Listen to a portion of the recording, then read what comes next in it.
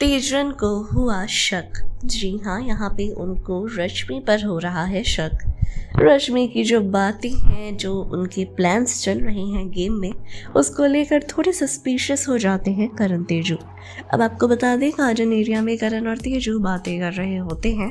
तभी यहाँ पे करण कहते हैं कि, यार, मैंने नोटिस किया है, मैं जब भी निशान से बात करता हूँ ना तो रश्मि बार बार आ जाती है। किसी से भी बात करता हूँ तो मेरे पीछे पीछे आ जाती है।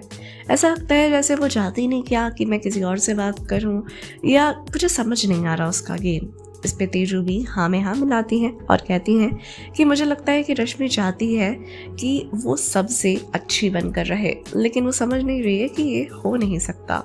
तो कहीं तो कहीं करण और तेजू यहाँ पे रश्मि के स्ट्रैटेजी को समझने की कोशिश कर रहे होते हैं। जी हाँ।